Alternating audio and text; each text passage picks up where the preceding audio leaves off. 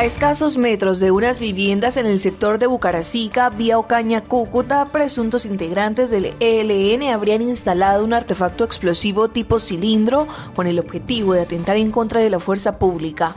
El Ejército Nacional frustró el hecho de violencia logrando detonar la carga de manera controlada.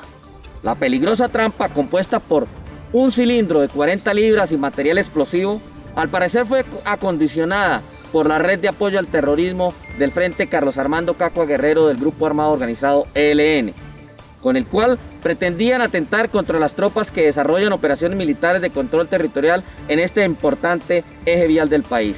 Es de anotar que anteriormente sobre este sector ya se han neutralizado varios artefactos explosivos improvisados que son instalados con el propósito de atentar contra las tropas, generando afectaciones a la población.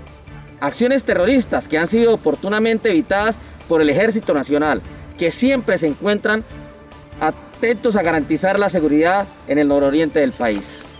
Continuaremos desarrollando operaciones militares con el fin de afectar el accionar criminal de las estructuras armadas ilegales, protegiendo a la población norte santanderiana y a los activos estratégicos del país.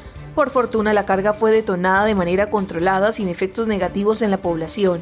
Entre tanto, los controles serán más estrictos en el corredor vial por donde diariamente se movilizan miles de vehículos y personas.